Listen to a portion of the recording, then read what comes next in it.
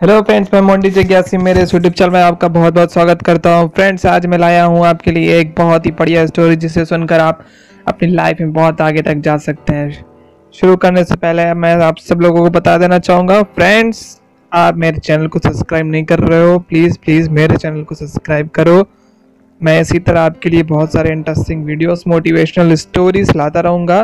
तो चलिए स्टार्ट करते हैं आज की हमारी स्टोरी जिसका टॉपिक है do what you like to do मतलब वह करो जो आप करना चाहते हो। आज राजेश और पल्लवी के घर खुशी का माहौल था और हो भी क्यों ना उनके घर पाँच साल बाद एक बेटे का जन्म हुआ। दोनों उसका नाम सोचने में लग गया और फाइनली उसका नाम रखा गया लक्ष्य।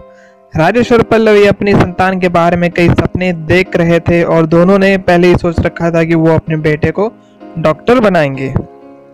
जैसे ही लक्ष्य चार साल का हुआ, उसका एडमिशन शहर के अच्छे स्कूल में कर दिया गया। लक्ष्य बचपन से ही बहुत अच्छी पेंटिंग बनाता था। किसी को लगता ही नहीं था ये चार साल के बच्चे ने पेंटिंग बनाई है। लक्ष्य पढ़ने में बहुत अच्छा था। हमेशा क्लास में फ़र्स्ट आता था। क्लास इलेवन में उसे सब्जेक्ट सेलेक्ट करने की बारी आई। न चाहते हुए भी उसे बायोलॉजी सेलेक्ट करना पड़ा, क्योंकि उसके पेरेंट्स चाहते थे वो डॉक्टर बने। लक्ष्य ने अपने पेरेंट्स को बताया कि उसे पेंटर बनना है, ना कि डॉक्टर लेकिन उसके पेरेंट्स ने ये बात नहीं मानी। उन्होंने बोला कि पेंटिंग में कोई फ्यूचर नहीं है, आपको डॉक्टर बनना है। तो मजबूरी में उसे बायो लेनी पड़ी। तो क्लास ट्वेल्थ करने के बाद उसे मेडिकल कॉलेज में एडमिशन भी मिल गया और पढ़ाई पूरी करने के बाद उसने अपनी क्लिनिक भी खोल ली कुछ समय बाद उसकी शादी हो गई और एक प्यारी सी बेटी भी हो गई।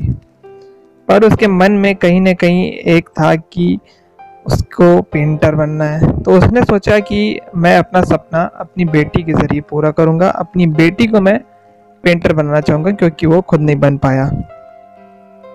तो दोस्तों, हम इस तरह की पहले भी कई बात सुन चुके होंगे और पढ़ चुके होंगे। कई मूवी भी देखी है हमने, जैसे थ्री इडियट्स तारे ज़मीन पर। पर जब असलियत में हमें अपने बच्चों पर अप्लाई करने की बात आती है, हम अपने बच्चों को दूसरों से कंपेयर करने लगते हैं। और यह सोचने लगते हैं, जो काम हमने नहीं किया, वो हम अपने बच्चों से कर पाएँगे। या समाज या आदि क्या कहेगा? अभी ज़रूरत है अपने बच्चों को पूरी समझ देने की और उन्हें उनके पसंद का करियर सेलेक्ट करने की आज़ादी देने की। अगर हम जीवन में सफल होना चाहते हैं तो वही करें जो हमें पसंद हो।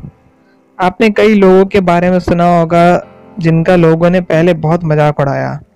पर आज वह सब उनकी तारीफ़ करे बिना नहीं छोड़ते। जैसे सचिन तेंदुलकर, लता मंगेशकर, संदीप माहेश्वरी आदि आदि।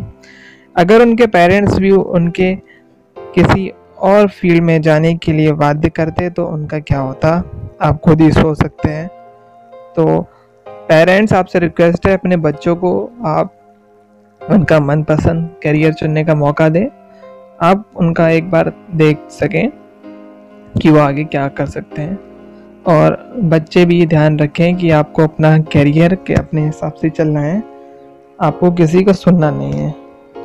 Thank you friends do like and subscribe my channel